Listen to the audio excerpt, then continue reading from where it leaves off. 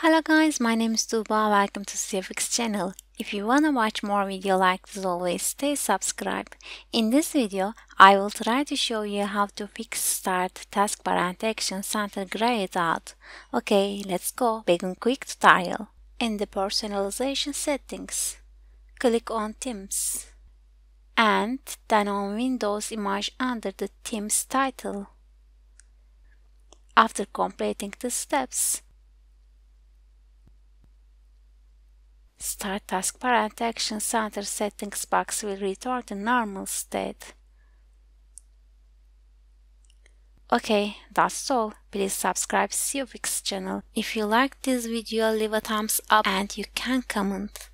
Thanks for watching. Goodbye.